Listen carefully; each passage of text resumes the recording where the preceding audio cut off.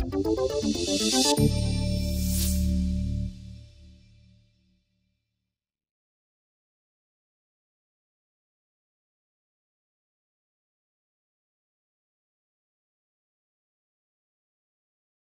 right, so hello everyone.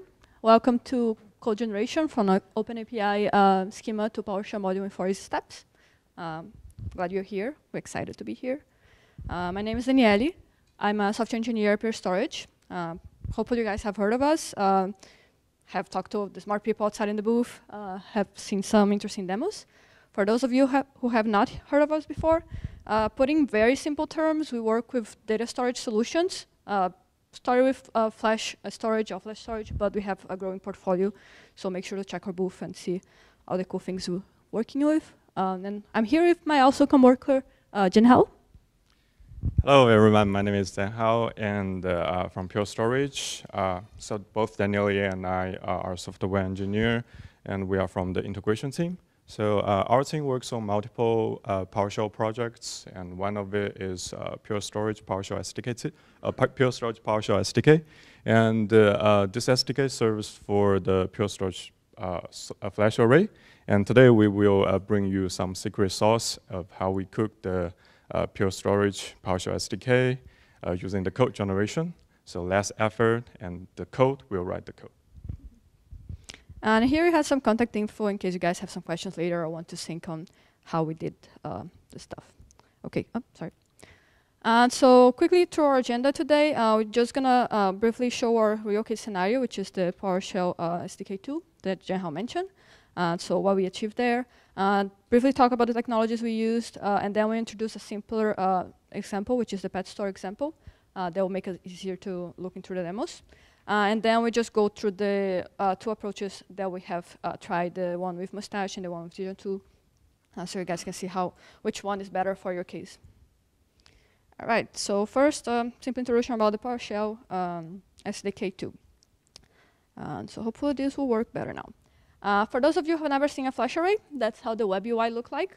Uh, I have some uh, interesting information about the array, the status, latency, bandwidth, a lot of cool stuff. Uh, and if you go here to the menu, you have a few options. If you go to storage, and you can see your volumes, um, create new volumes, assign them to hosts, take snapshots. You can see a list of snapshots here.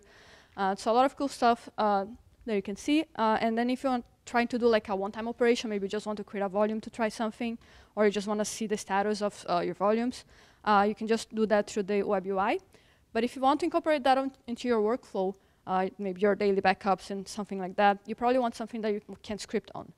Uh, so if you go here on your help, uh, you have a few ways that you can interact with the Flash array. You have your CLI, and you have a couple of um, REST API versions. So we mostly work with the REST API version 2 here. Uh, if you click on that link, you're basically going to come to this page where you have the help. Uh, and then you see like a bunch of different operations that you can do uh, through the REST API. For example, you can go to the volumes here. Um, and then you can list your volumes. Uh, you have all the examples of how the all the parameters that you have to use, the example of the response. So everything is there. And for some of our customers, that will be enough, and that's what they're going to use to integrate with their scripts. Um, on the top here, you have the OpenAPI specification for the REST API, so you can download that, and you take can take a look of how it looks like. Um, so for example, if I look at my outline here, um, who has uh, worked with uh, OpenAPI specification before and knows how it looks like? Cool, few people. Um, so yeah, so you have your tags, so all the endpoints there that uh, you can interact with. Um, if you close your tags, uh, you can see your paths. So you have a description of um, your methods, the parameters you're going to use, uh, the expected response. So basically, all the information about your, your REST API is there. So cool. Um, so once you have that, uh, as I mentioned, most of our customers, uh, a lot of customers can be happy with just that. But some of our customers don't want to be worrying about how to do a REST call and how to handle all the standards and all that. So we try to uh, provide some uh, tools for them to be able to, to interact with the Flash array easier. So we have some SDKs for different languages, uh, and we create a PowerShell module to uh, let PowerShell users uh, interact with the Flash array easier. Uh, so our PowerShell module looks more or less like this. Um, oops, let me do like that. Yeah, it's kind of frozen. Cool. Oh, there it is.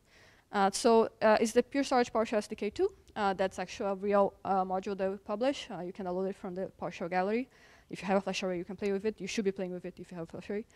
Um, and then if you get the commands, you see that there's a lot of commandlets. It's basically all the operations that you can do with the REST call. They are here. Um, and then you can do a get help. Uh, we, for example, let's do update volume. And you can do a foo. And that will give you like all the parameters that you, that you have to pass. It has a description on top. So everything that the user needs to know uh, to use this uh, SDK. And so, yeah, basically that's what we did, and we're going to show you today how we did that. Um, all right. So what was the goal? We have an open API specification schema that was provided by our uh, Pure team that creates the REST APIs. Uh, and we want to have a PowerShell module at the end that has a REST client for the REST API. So we have to create a process in the middle that makes this come true. Uh, so first, we thought we could do a manual approach, of course. We know how to write PowerShell scripts. Uh, we know how to make uh, REST calls. Uh, but as you saw, there's a lot of commandlets. Uh, we had over 150 uh, paths on the OpenAPI specification. And we kind of have kind of often releases. Just last year, we had seven different releases for this REST API. So it could be done, but it probably be very hard for our team to keep this up to date for all the different releases. If everything gets added, we, probably, might have forgotten uh, a parameter or another. So it will be pretty hard to keep that up to date and working. So as you can guess from the title of the presentation, we decided to go with code generation. That will make the process faster and more reliable and all that. And so just, I'm going to briefly talk about the technology that we use, just so you have an idea when I'm uh, mentioning them on the demos. Um, oops, sorry. Uh, first one, your the file, the OpenAPI specification. It's the file that basically describes how your REST uh, operations. Uh, it's a language agnostic interface. It lets you specify parameters, uh, the methods, uh, requirements, and all that. So you can look more about, uh, on their website. Um, next thing we use is the Swagger CodeGen. That's an open source project. You can check their GitHub page here pretty cool stuff. Uh, it lets you generate uh, REST clients for multiple languages. Uh, just purely put a few here, the, the ones that um, work for us. Uh, so we can generate the PowerShell ones, the C Sharp, but they have a very big list, so definitely check them out. Uh, that's not pure storage code, it's uh, the Swagger guys. It's a very cool uh, tool. Um, next thing is Mustache templates. Uh, that's actually used by the Swagger CodeGen. Uh, it's a template that uses, it's a logic-less template. it, use, it works basically by expanding tags. So it has some limitation because you cannot do, for example, a if a statement or a for loop inside of the template, but uh, you can go through some hoops and do that with tags. Uh, and last, uh, Jinja 2, which is a more powerful templating engine. That one actually lets you do like all this logic stuff, do the ifs and for loops, and uh, gives you more uh, flexibility uh, on how you handle your templates. Okay, so our sample example, uh, the pet store. Um, pet store is actually example from the Swagger uh, team as well. Uh, you can go to the website, Pet Store uh, Swagger.io. It has a similar page as you saw for the documentation of the Pure Storage uh, REST client. Uh, it has all the operations you can do. It's basically a simple pet store. So you have your pet operations. You can add a pet, data pet, and you can go to your store and you can place an order. So all the uh, stuff. it's a much simpler REST call. It only has like, I don't know, like 15 commands or something like that. Uh, and you don't have to be uh, handling uh, authentication like you have with the flash array. So we, it's simpler for the demo. Uh, and on the top here, they also have the um, OpenAPI specification, so all the information that you, want to know. OK, uh, so that. Uh, so let's go to the CodeGen part using Mustache. And so again, initial plan, we had the YAML file. we want to use this Swagger CodeGen, and we want to have a PowerShell module. Um, so actually, you can go to their GitHub page. Um, it has all the instructions on how to do it. You can download the Swagger CodeGen. So all the cool stuff is there, well documented. Um, let me reduce this. So all you need to do, um, basically two things that you have to have to generate a, a REST client from zero. You have to download their uh, Swagger CodeGen uh, tool. I have previously downloaded here, uh, but you can download from there. Uh, it has instructions on the GitHub page. Uh, and you need your uh, Swagger um, yeah, I'm also your OpenAPI specification. So I'm just gonna uh, download this guy. Oops. So got the guy here. Again, same similar uh, style file that we already saw. And that's all you need. And you can just go and run uh, gen. Uh, you pass the generate option. Uh, you're trying to generate the module. Um, you pass your input file, your YAML, uh, the language, in your case PowerShell, and your output file, your output uh, location. And if you run that, oops, wrong case. If you run that, if it runs, Oh, I run the same thing again, sorry. There you go. Now, if you run that, uh, it actually will generate all the PS1 files. So you, create a folder here, pet store PowerShell. And if you go into the source here, let me just minimize this guy. Uh, and you can see all your PS1 files, that do the operations. Um, and you see your PS1 file here. Uh, so for your module. So cool, you have a module, right? Uh, pretty simple. Uh, actually, if you try to uh, import this module, uh, this will fail. sorry. And you see that it's complaining because it cannot find some types here that it's looking for. And so on our PSM1 file, it's looking uh, to create these objects for this type, but actually there's no definition of this type anywhere. Um, the reason for that is that uh, the code that is generated by the Swagger CodeGen for PowerShell uh, it actually depends on the C-sharp library. Uh, but lucky for us, Gen can also generate a C-sharp library. Uh, that's why they have this dependency. So basically, what you have to do is you run uh, the Gen with the C-sharp option. You're going to get the library from C-sharp. You run with the PowerShell option. You're going to get your PowerShell files. And then you run a build file to basically uh, combine the two of them and make your module. So let's give that a try. Um, so generate the C-sharp, same thing just same options, but now on your language you're gonna pass C sharp. Pretty straightforward. Uh, go. And that will generate the C sharp folder here. Go into the source. Um, you can actually see the C sharp code, and you can go to the client here. And you can see like here is actually where it creates the REST client uh, and do actually the core operations for uh, doing the REST calls. So cool stuff. Um, let me minimize this. Uh, and now what you have to do to combine the two of them is run this uh, build file. It was actually generated when you try to uh, generate the PowerShell module. Uh, so it's this guy here.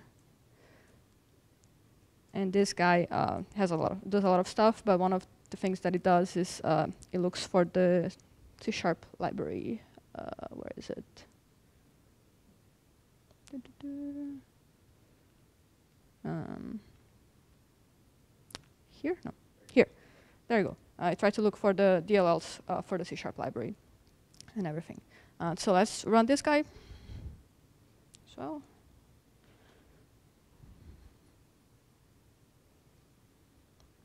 Take a little bit. There you go. It's running. This will actually build the, the C-sharp library. We generate this uh, bin folder here uh, that has the DLL for uh, C-sharp uh, and actually also generates this PSD1 file for your module. Um, this will uh, have the required assemblies. Okay, I need the, the C-sharp uh, library, and it has the exported modules, the export uh, command sorry. So yeah, that's pretty much all you need, depending on your use case. Uh, you can, this is a fully functional uh, module. You can go to this location and import it.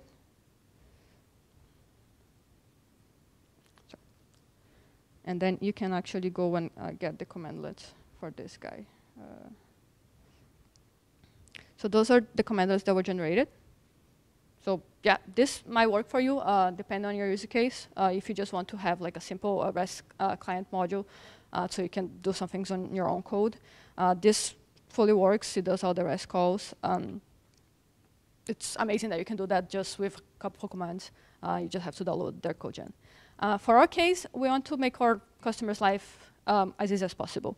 So we want them to have the best experience. Uh, if you look at the syntax here, uh, it's doing like invoke uh, dash whatever the, the class name was uh, and the operation. If you have in your mind that you're actually using a REST uh, client, that makes sense. You do you invoking a REST call. but for our customers, we're basically just provide them a tool to interact with FlashArray. So if it, they are a, a common PowerShell user, they will probably expect something like uh, if you're doing a delete path, you might want to expect a remove pet store pet instead. Have the, uh, the recognized verbs from PowerShell, uh, something simpler. If you're creating a pet, you probably expect like a new pet store pet. Um, so this syntax is not that user-friendly for a PowerShell user. Um, moreover, if you go, for example, uh, let's take a look at one of the uh, calls, for example, the place order. So basically placing an order for a pet. And if we do get help for this guy, and full,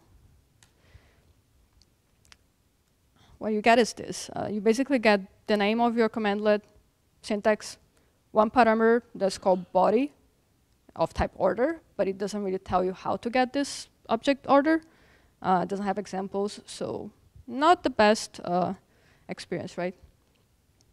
And so if you look a little bit into the uh, module, you actually find out that to place order, you have to go and create this order object using the new order. And then you invoke your commandlet uh, using that. And that would actually work and give you the, whoops, actually place your order, say here status approved and everything.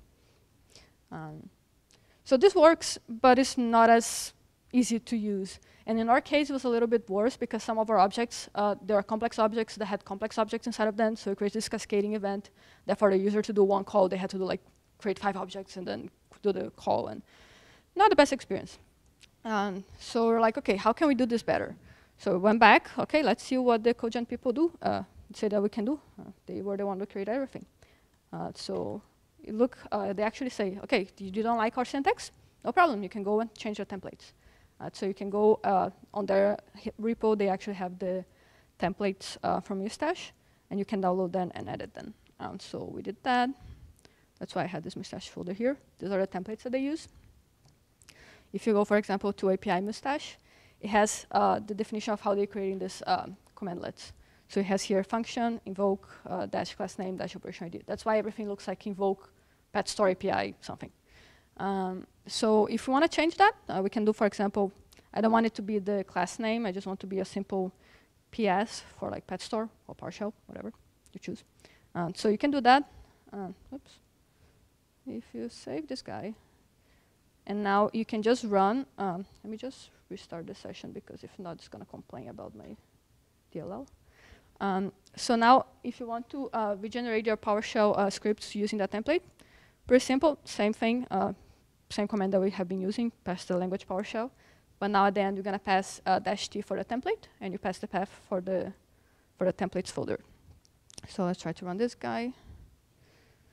That will generate the C sharp, uh, the PowerShell files again. Uh, and now that you have the new PowerShell files, you have to also uh, rebuild your module. So that works. So let's do the rebuild.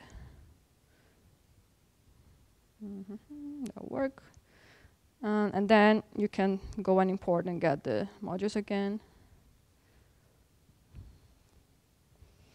And that, you, that will give you your new uh, commandlet. So now everything is dash ps instead of uh, the dash uh, API or whatever. Uh, so there's a few things that you can do with the mustache. Um, but for example, to do the thing that I mentioned, uh, instead of invoke something delete, do remove dash something.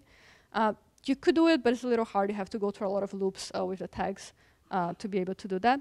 So we thought, okay, if we're going to have to be changing the template so much, maybe we might as well go to something more powerful that let us have more flexibility. And so with that, I'll give back to Jianhao to talk about the Jinja 2. Thanks, Daniele. So uh, in this section, we are uh, going to talk about how we use the Jinja 2 um, to render our templates and do the code generation. So wondering how many of you here uh, have ever used the Jinja 2 before? That's a lot of people. Okay. But for those who are not familiar, no worries. I will walk you through how we uh, uh, use the Jinja 2 in the demo site. Okay, so let's uh, take a look at overflow, uh, overall workflow of how we uh, generate the C Sharp, uh, generate the whole um, PowerShell SDK. The first step, simple, using the YAML files, and Daniele has showed all of these steps to create the necessary uh, C Sharp library part. This is all native support uh, by Swagger. And the second part is uh, our own customized part. So basically, we uh, use the YAML files, and we have our uh, pure CodeGen. I will walk through of uh, you to the this code part. Um, what this part do is uh, pre-process the YAML files um, and read them into a single uh, data structure that will be used to uh, rendering these Jinja2 templates. So uh, once we have uh, all of the data in the Jinja2 template, we will generate our PowerShell scripts. And uh, we have our uh, C-sharp library uh, and PowerShell scripts, these two core um, uh, components ready, and we will wiring, wiring them up with some PSD1 files, and we will have our PowerShell module ready. So demo.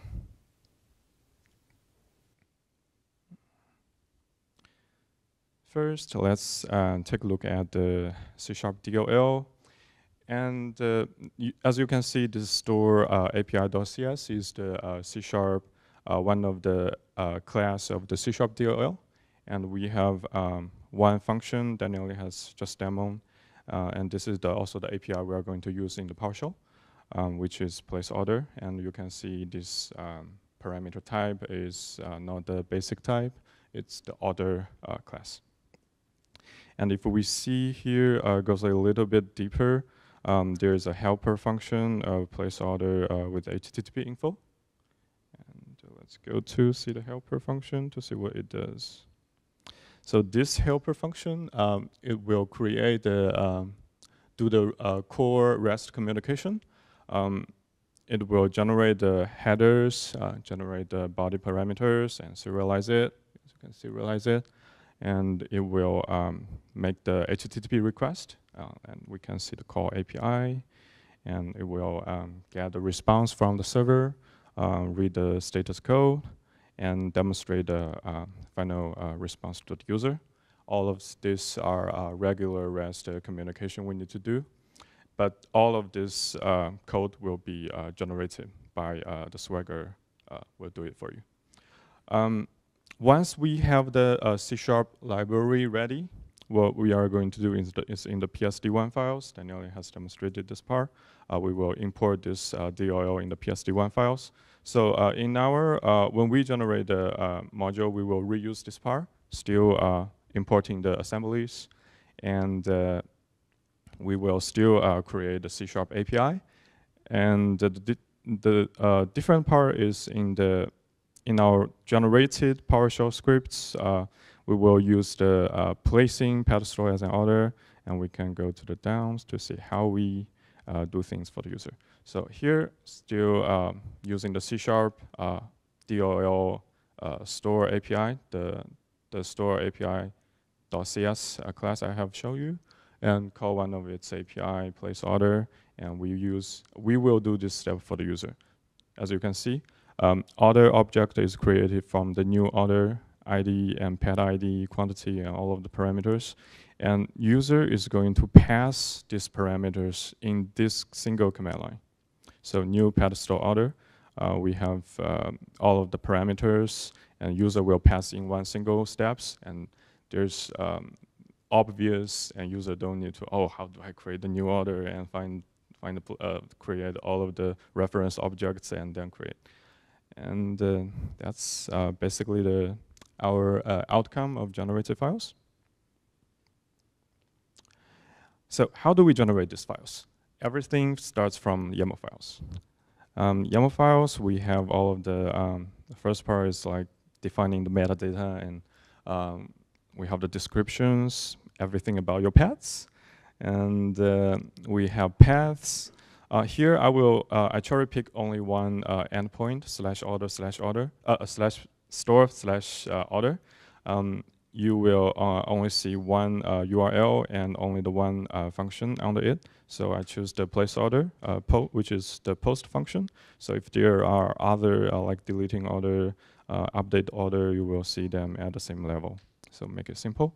Um, to place an order of a pad, it has the summary inside of it, and it has also had the operation ID. So place order, you will be uh, familiar with this uh, now because this operation ID will be used later in the code generation. Um, this is the name of the API function in the C-sharp library we are going to use in the PowerShell. And also it has the parameters, as you can see. Uh, the tricky part is it used the dollar ref. So not all, uh, not all of the information is inside of these uh, YAML files. um, we need to pre-process these YAML files after we read these files because uh, this is also one of the major, st uh, major step uh, pure code, code generation does to um, dereference, uh, resolve all of the reference in these files and do the stuff.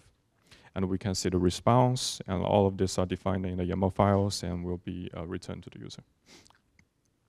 Now let's take a look at the uh, other YAML files, and so it will be under uh, the model models directory. So when your um, the whole pet store get complicated, we will put everything in the model, and all of this model can be reused. Um, so we don't have a very, very lo long YAML files that having all of the information. That's the benefit of using the reference. So um, order.yaml files, pretty simple.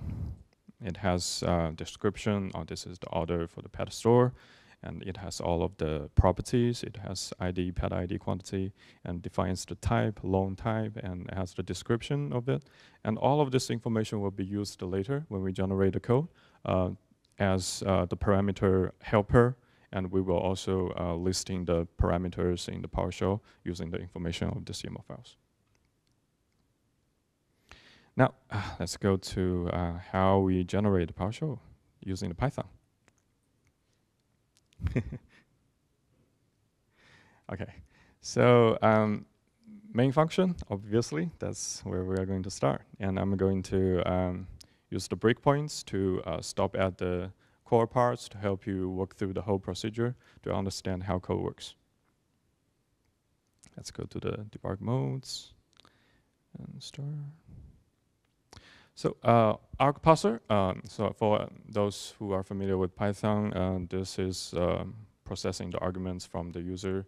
And here, basically, we um, read the, read the uh, YAML files and we um, put the building directory and all of the output will be put there we have some other uh, code generation, like generating some tests along with the uh, codes. And uh, once we um, have all of the arguments processed, we will go to our main helper, generate PowerShell code. Let's go. Okay, so you will see pure swagger here. So pure swagger here is the, the one uh, I mentioned about the pure code generation. This, this step, in this step, we are going to pre-process the uh, YAML files and read them, read them into a single data structure. And this data structure is, is the uh, one we are going to use in the uh, rendering the template. Now let's go into the Pure Swagger to see how we uh, pre-process the data. First step, read the YAML files. It's easy, simple, and we get the uh, spec, spec path, which is uh, the pet store original.yaml files. I just show you the first YAML files, has most of the information. And we read the uh, YAML uh, files into this uh, underscore data uh, variable. So uh, obviously, um, if we just simply read the YAML files, the information will having some issues. So if we go to the paths, so remember the YAML files, we have the paths, we have slash store, slash order, and we goes into this, goes into the post function, and we goes into the uh, parameters. We see it's um, the other uh, parameters, and goes inside of it. We can see the schema is uh, $ref slash model slash order.yaml.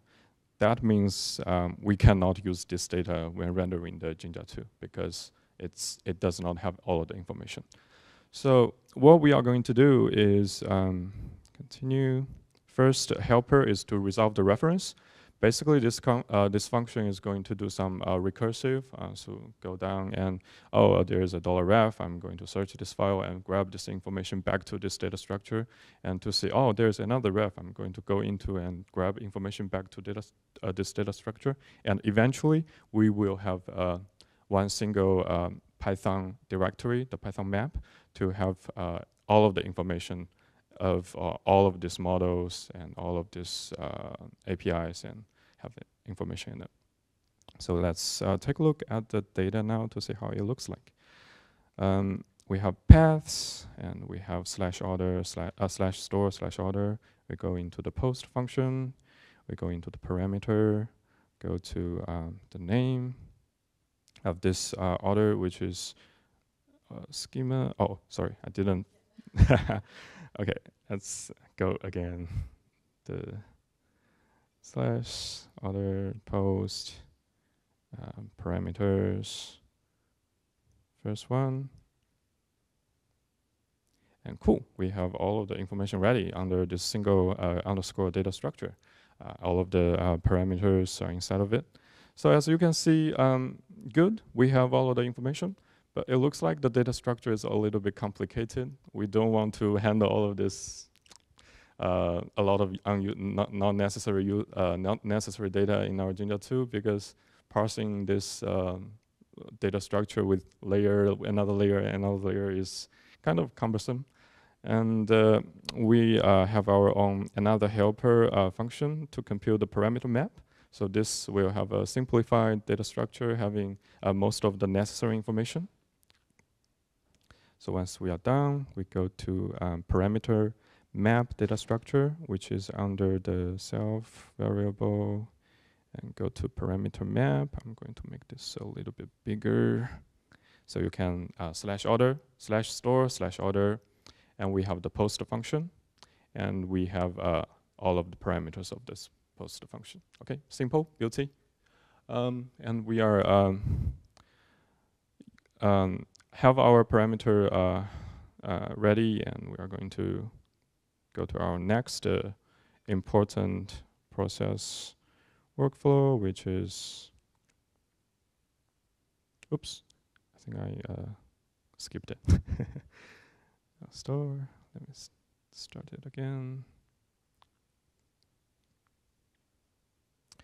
Not this one, this one is parse, read the YAML files, resolve the reference, compute the parameter maps, and stop here. So this step is going to identify the complex parameter. So what is complex parameter? It is the, the one, remember we knew order. Uh, we create an order object first, and then we pass these order objects to our um, C-sharp API. And this is defined as complex parameter. Um, the basic parameter is simple. It's string, uh, integer, or a boolean. We will use it directly. But with complex, we are going to identify it and in the Jinja 2 files, we, uh, we will check this marker. Oh, it's a complex. Okay, we'll do, do the initialization for the user. And uh, once it's done, and user don't need to do this step. See, um, for complex, we will uh, go to the data again. We have the paths. We have the slash store slash order. We have the parameters. And for now, there is no uh, marker of the uh, complex parameter. But after uh, this step, we will see there uh, we added a new field for uh, this uh, other object. We mark it as mark it as, as is complex. And this helper is fairly simple. we just go uh, do some loop and check if it's a basic one. If it's a basic one, you don't mark it. If it's a complex one, you will mark it. It's uh, simple, but do uh, real important important stuff. Um, now let's go to uh, go back. Once we have the our all of data pre-processed, we will go back to um, the Python files. Um, we will see some uh, environment filters. And what is this filters? Filters are a definition in the Jinja 2. If you are familiar with PowerShell pipeline, I think it's very similar to it. Um, it's kind of like you are, you, you are going to define some uh, function by yourself. So like we have another uh, template helper file, uh, get class name, and you can use these uh, functions inside of um, the Jinja 2. So what it looks like is in Jinja 2, every variable will be uh, covered by the uh, curly braces. Um, and you have the list and you will have this uh, the filters and going to uh, separate this list with comma. And once we have all of these uh, helper functions defined, uh, we will go to the next step. And this step is intuitive. We get the uh, template from, uh, this is the template we are going to use, PowerShell module.ps1.jinja2. Um, and we are going to get the template object. And uh, once we have the template object, we will go to a loop. So this model um, model is the one we um, read from the pure swagger.parse. So this one is similar to uh, the underscore data I have shown you.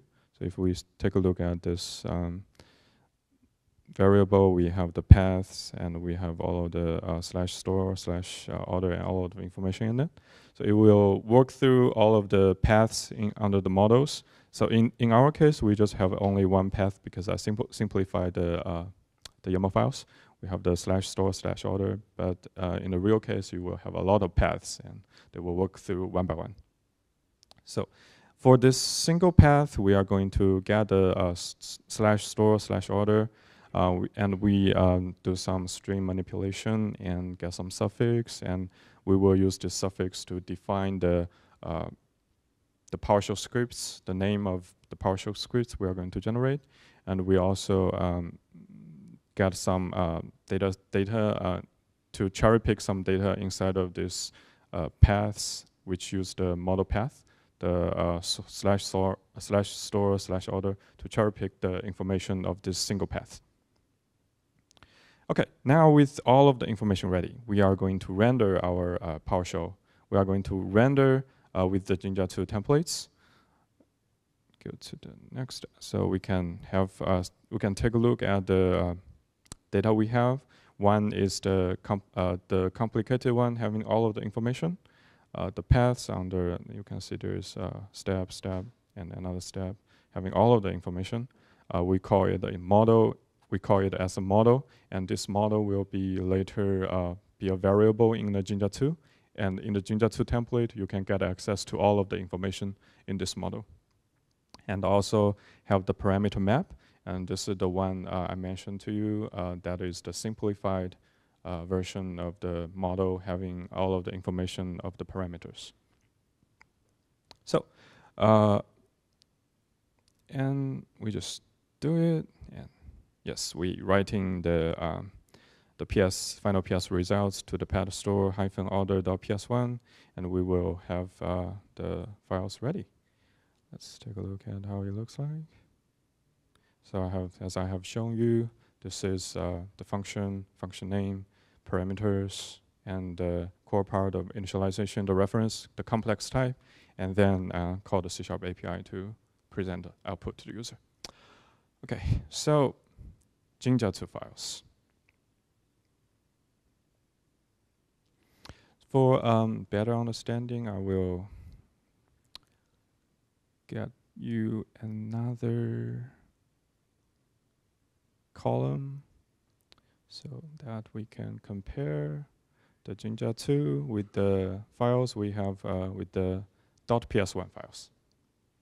Sorry? Oh, okay. Good suggestion. um, okay, so Jinja2 files, how does it works? Um, we have, uh, so every variable or um, like for loops or if blocks, it will be covered by this uh, curly uh, braces. And for anything that is not covered by the uh, this curly braces, we are going to print it as it is. So you, you can see um, from the beginning of the file, uh, generated from PowerShell module.cs.jinja2. We will have the same thing in our uh, PowerShell scripts, right? Um, and here comes the uh, interesting part. Macro, what is macro? It's um, the function, the uh, Jinja 2 version of function. Um, you have the function name and you put the parameters, you define it in the Jinja 2, and it will help you to render uh, the views for you. So let's see. Uh, this macro, what it does is to uh, generate the parameter description. Uh, it, it's the, the function name is called parameter comments, and it inputs is the parameter. So we have dot parameter, and this is the uh, map, and we uh, get access to the key name, and uh, as you can see, dot parameter ID, dot parameter pet ID, and we will um, print it to the user. And the next uh, uh, macro is generate PowerShell parameter. So previous one is generate the comments, and this one is going to generate the per, uh, PowerShell parameter. Um, and it's still for a single block for every parameter. parameter. So it will check, uh, set the variable. It's defining a variable in Jinja 2. Is, is this uh, parameter ma mandatory or not? So we can um, see it's uh, check, check, we have a check here, check if it's required. And we um, print the original name of this parameter. And we get the parameter attributes from the YAML files. And we get the parameter type. And we get the parameter name. And for this single block, we have uh, four lines as well. We have some comments here. We put the parameter attributes. We have the parameter type. And we have the parameter name. And next uh, macro is uh, the complex uh, parameter initialization. So in the Jinja 2 file, uh, we have um, we will check if it is a complex par parameter. If it is a complex one, we are going to initialize for the user. So we have the new hyphen, so it will always be new hyphen some objects. So in this case, it will be new hyphen order. Um, it will be uh, creating the parameter mapped type. This is also um, the uh, parameter, uh, the information we have because we need to map these uh, parameters to type order because uh, all of these param parameters are from the order uh, objects. And we will do a for loop, loop through all of the parameters uh, in this uh, in this para all all of the parameters and do them one by one or generate the ID and getting ID and pet ID and getting pet, pet ID and and generate this line of the creating the complex parameter. And the next one is the big one.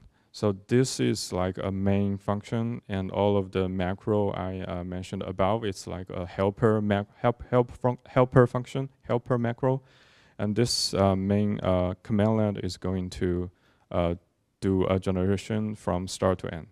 So before we look into this main function at end here, we uh, check we check the uh, entry point of this Jinja2 files.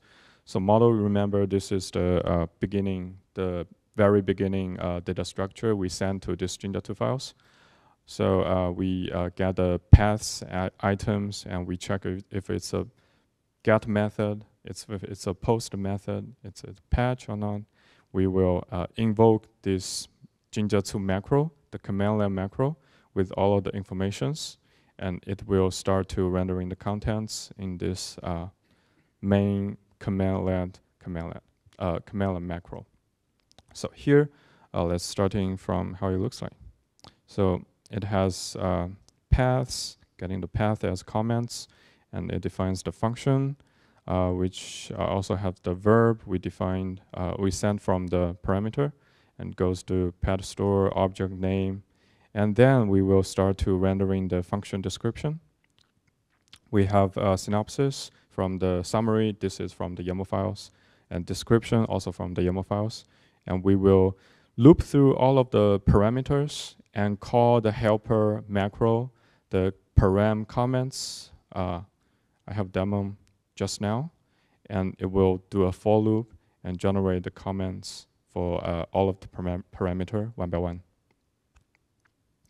And once uh, this part is done, we will go to our next uh, uh part of listing function parameters. So um, we will have our parameter uh, and we loop through all of the parameter and call the helper macro PowerShell parameter. Um, and we'll go through the parameter one by one and generate it's the same.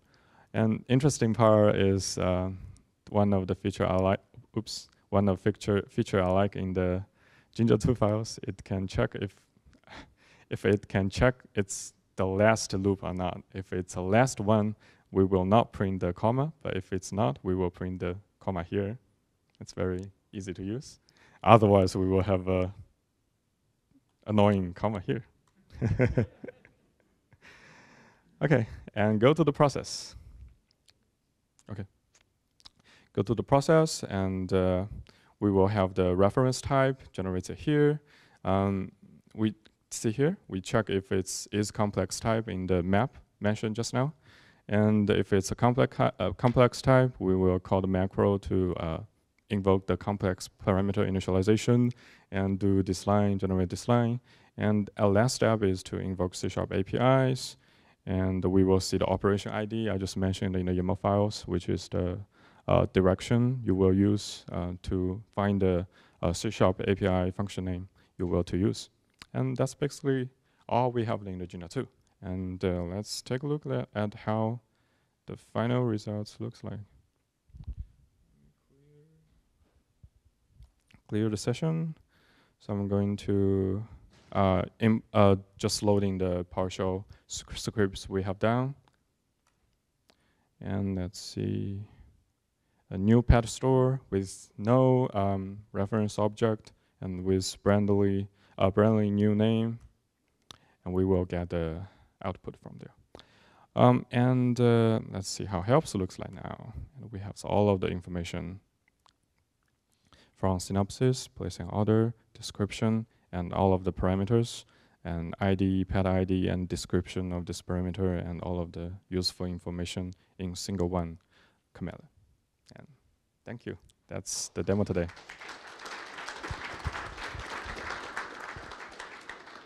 Yeah, so just a quick, quick recap. Uh, basically, you go, uh, your four steps are the generate the C Sharp lib, uh, you translate the YAML files, uh, render your Jinja template, and then you can support your module. Uh, so that's pretty much it. Question? Because I don't know if they were done more playing on the I mean,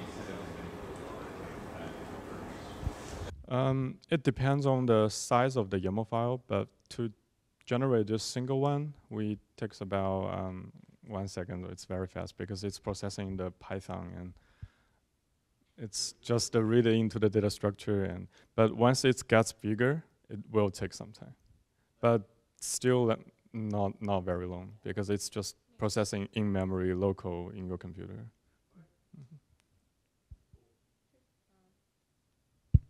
That's all we have. Uh, I think we're a little bit over time, so I want to be respectful of people's times. Uh, but we're going to be outside uh, on the booth, or you can have our contact info. So if you have questions, just reach out. Um, and yeah, thank you for coming.